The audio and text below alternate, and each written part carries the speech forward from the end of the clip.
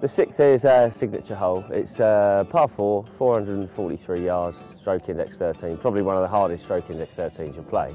Um, it sticks out as our signature hole. I mean, there's, there's plenty of great holes on this course, but um, this one for me because you've got, you know, you've got the, the grandstand right by the tee, uh, about a good five iron away from the finish of the, the derby. Um, and then, of course, when you're standing up on the tee, you've got this fantastic panoramic view right across London. It's made difficult because you've got two, two very hard shots to play. Uh, standing there up on the tee, you've got to make sure you're putting the ball um, up on the right-hand side of the fairway. It all runs round to the left. Members will tell you, if you turn it down the left-hand side, you're in the thick rough, and it is thick, thick rough at the moment. It's jungle over there on the left-hand side.